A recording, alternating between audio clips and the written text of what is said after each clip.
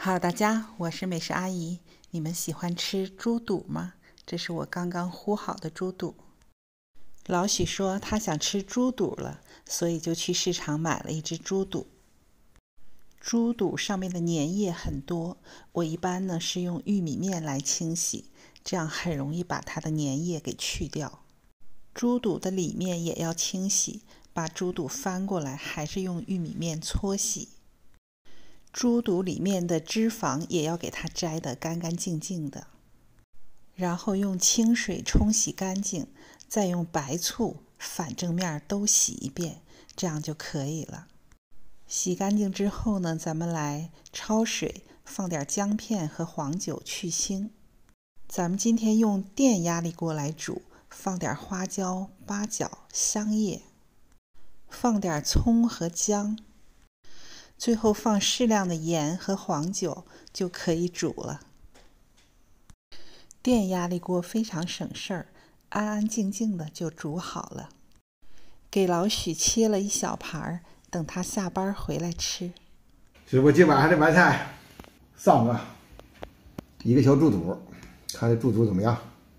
今晚主要是吃猪肚，为了吃猪肚，整了点小黄酒，太少了，太淡点了。这瓶主要是剩那么些，要不然总得他喝一两碗。嗯，嗯。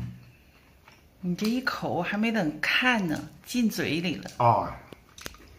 好久没吃猪肚了，所以我今天想吃猪肚了。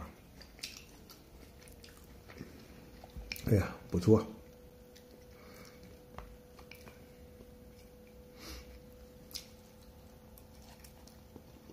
嗯，好吃吗？软烂，好吃。香不香？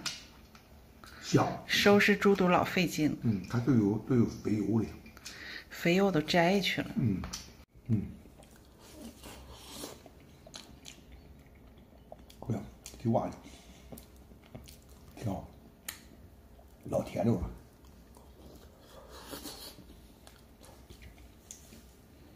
这猪肚够不够吃啊？够，行。不用再给你切点啊？不用，还有吗？